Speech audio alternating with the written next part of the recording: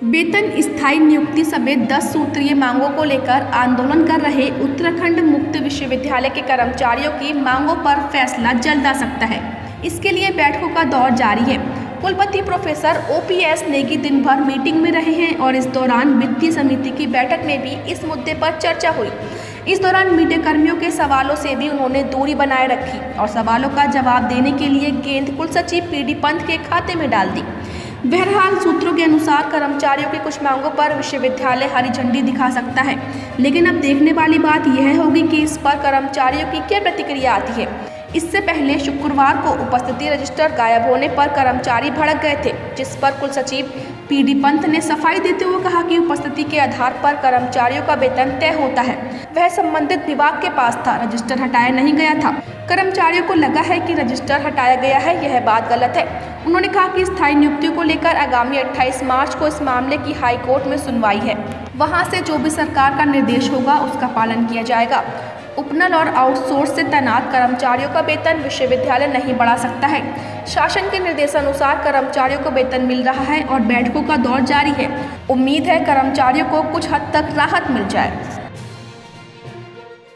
कर्मचारियों की एक औपचारिक बैठक हुई।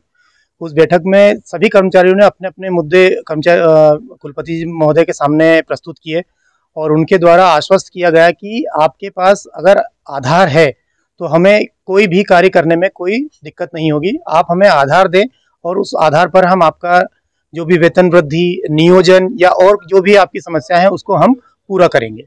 सभी कर्मचारियों ने लगकर हमने अपने अपने स्तर से सारे आधार इकट्ठे किए हैं। और हमने एक दस सूत्रीय मांग दोबारा से कुलपति महोदय को क्या लोकनाथ वित्त समिति में रखने के लिए निवेदन किया है और आशा है कि उसका हमें ज़रूर सकारात्मक रिज़ल्ट मिलेगा। शाम को एक बार फिर से कर्मचारियों और हमारे शिक्षक साथियों के साथ में हमारी एक बैठक होगी और उसके बाद आगे की रणनीति तय की अब ये तो एक बहुत बड़ा मसला है, हम लोग आंतरिक कर्मचारी हैं, वो और सब एक परिवार ही हैं लेकिन ऐसा रुख ज़रूर दिख रहा है कुलपति महोदय का हम परसों भी उनसे मिलना चाह रहे थे उस समय भी किसी अपरिहार्य कारणों से वो नहीं मिल पाए, लेकिन आगे ज़रूर वो हमारा साथ देंगे, ऐसी हमें आशा है।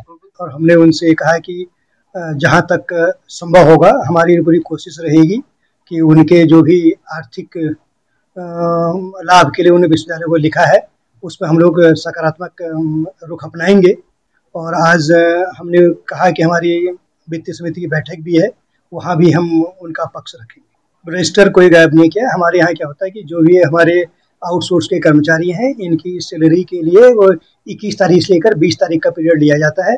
तो उनकी सैलरी बनाने के लिए रजिस्टर परसों शाम ऊपर लाया गया था ताकि हम इनके डेटा को एंट्री कर सकें, कितनी इनकी प्रेजेंस है, कितनी एबसेंस है। तो डेटा ऊपर आया, डेटा एंट्री गया, सुबह उसको नीचे रखने में क्योंकि वो कर्मचारी दस बजे नहीं आ पाया था तो इसलिए रजिस्टर दस बजे नीचे नहीं थे। तो जैसे ही मैं आया, मुझे पता लगा कि रजिस्टर ऊपर है, मैंने नीचे रखवा दिया। ऐसा कोई मंशा नहीं है कि हम उनको सिग्नेचर करवाने से रोक रहे थे ऐसा कुछ नहीं। था सर देखिए मीटिंग है उसमें जो नतीजा होगा वो सभी को पता लगेगा।